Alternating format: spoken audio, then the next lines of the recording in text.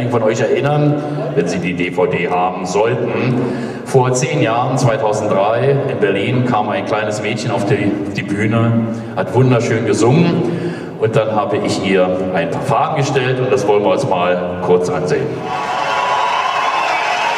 Wir danken dem Moosdorfer Kinderchor unter der Leitung von Rolf Henning und unsere kleine Solistin, das ist Kimberly.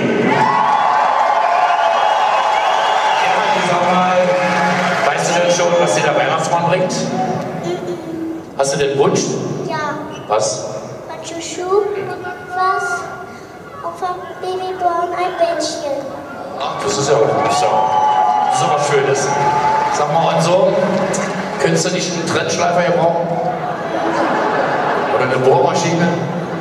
Pressluft Aber diese Sachen, die hat ja der Papa schon alle, wa? Ja. Hat er die ganze Garage wieder voll, der ist am Bastel, so ein Friemelheini, wa? Ja. Wo ist der Papa jetzt? Ist der hier? Ja. Wo ist der? Na, dann geh mal hin zu dem Papa. Geh mal die Hand!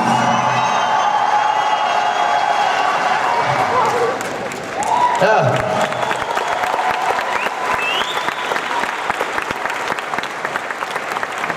Das kleine Mädchen hat sich stark verändert. Man kann auch sagen, sie ist stark gealtert.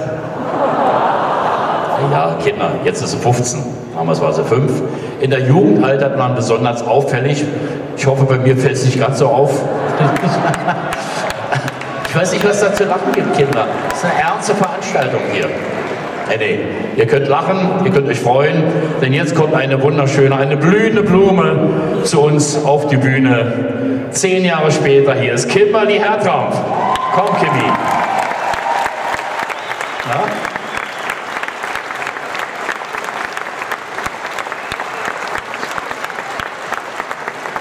So. Damals hat sie mit mir gesungen, heute singt sie mit ihrem Papa. Das Lied ist vom Album Heilige Nächte. Und das Stück heißt ähm,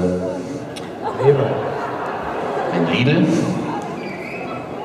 von Aldi. All diese Jahre. Hier mal die Herkrampf.